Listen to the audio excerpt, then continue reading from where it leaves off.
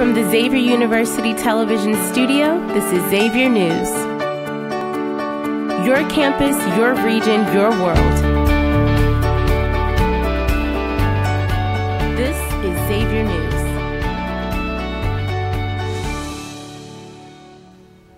A federal court of appeals ruled against reinstating President Donald Trump's ban on travelers from seven predominantly Muslim nations.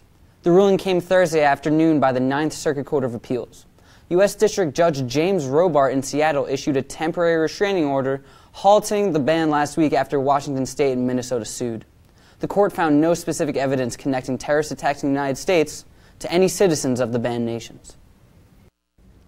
After last week's decision to make Cincinnati a sanctuary city, funds for roads, bridges, and other projects could be in jeopardy, per White House Press Secretary Sean Spicer. This was the first time the Trump administration had specifically weighed in on this Queen City's decision in standing with immigrants in the wake of the president's executive order. Mayor John Cranley rebuked Spicer's decision Wednesday, stating that Cincinnati is not undermining federal laws and that federal law enforcement handles implementing immigration laws and local police are not required to. Cranley remains uncertain if the policy will hold up under the Trump regime. This week has led to two more controversial confirmations in an already controversial cabinet for President Trump. Betsy DeVos was confirmed as Education Secretary after the Vice President was forced to use his tie breaking Senate vote for the first time in American history. On Thursday, Alabama Senator Jeff Sessions was sworn in as Attorney General. Both appointments come on the heels of protests against their nominations and wide range skepticism remains. A village in Butler County has instructed, has instructed by a judge to pay back $3 million worth of speeding citation for their automated traffic cameras. The village cited roughly 45,000 people in 15 months. Judge Michael Oster issued this ruling this past Wednesday, calling the money an unjust enrichment of New Miami. It was ruled back in 2014 by a separate judge. Camera enforcement was unconstitutional. Their officers utilized handheld cameras to now comply with the state law that it must be present when enforcing cameras. According to new research from the National Center for Children in Poverty from Columbia University's School of Public Health, more than 40% of all children live in low income families, including 5.2 million infants and toddlers under the age of three. Although the poverty rate has dropped while household income per capita increases, over 30 million children are living in families barely able to afford their most basic needs, NCCP Director of Family Economic Security Heather Koball suggests America has nearly 300,000 more children living near poverty today than at the height of the Great Recession. The popular Mount Lookout restaurant Nectar is set to close on February 26th. Owner Julie Francis stated she is retiring from her owner operator position, but plans remain in the local food scene. These include teaching, conducting personal chef work, and staying involved in organizations including Slow Food. Francis has promoted connections between chefs, farmers, diners, and food producers since she opened her first restaurant in 2001 before moving to Mount Lookout Square 12 years ago to open Nectar. Francis is doing one last five course dinner for her restaurant on February 23rd. The legend of Harambe continues to grow and knows no bounds. A flaming hot Cheeto that looks like the outline of Harambe has now sold for nearly $100,000. After a controversial death in May, Harambe has become a pop culture icon and hero of the internet. The seller turned one Cheeto into what could be a lifetime supply of snack food. A lecture led by co-authors of Jesus and Buddha, Friends in Conversation will take place in the Conaton Boardroom in Schmidt Hall tonight from 7 to 8.30.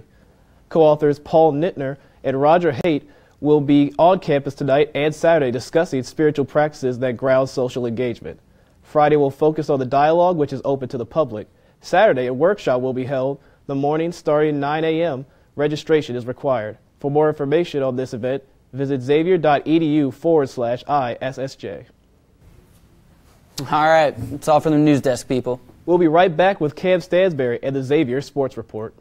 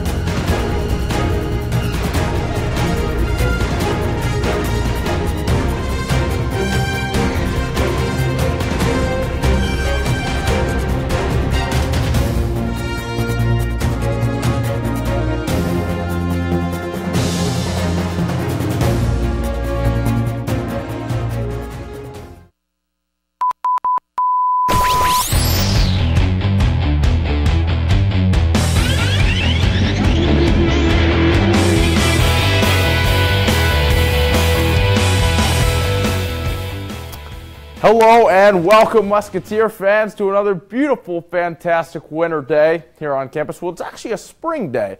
So, everybody get outside and make sure that you enjoy this beautiful weather because it's going to be great this weekend.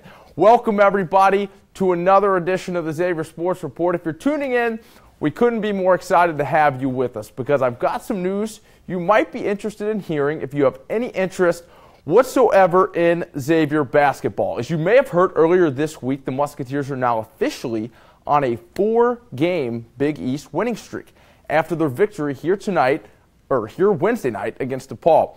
With star point guard Edmund Sumner on the sidelines for the rest of the season, this team officially belongs to star swingman Trevon Bluiett.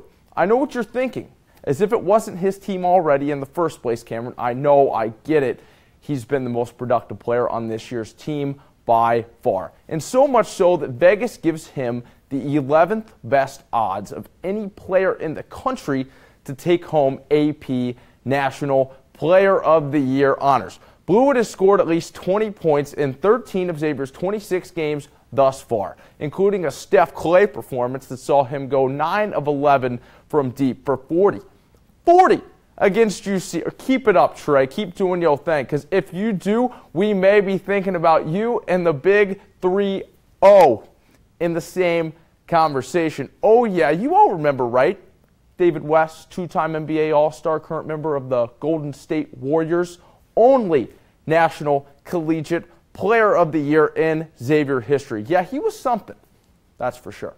Bluiett may need to give him a call before he takes the court tomorrow against the toughest opponent he has seen all season long. Cue Josh Hart and the Villanova Wildcats. Welcome back to Cintas, boys. We couldn't be more excited to have you here at Xavier, to have you guys back in our building. We get to camp out, we get to sell out our arena, and then we get to ball out when we take you guys down for the second year in a row and bring it, Nova, we are ready for you, Josh Hart. Trevon's going to shut you down. Xavier Nation, you all know what you have to do. Be as loud as you can. I'm talking as loud as you possibly can because this is going to be a huge game. I don't care if you're wearing hearing aids. By this time next year, tomorrow is our time. And we will do everything in our power to give our guys the fight, the fight that is required for victory in this epic battle. Finally, the indoor track and field team wraps up their season this weekend at the SPIRE D Invitational in Geneva, Ohio. If you got nothing to do, maybe drive up to Geneva. Might sound like a good time. The team wraps up a season that saw 12 school records get broken this year. Great job, ladies. You two gents, keep up the fabulous work.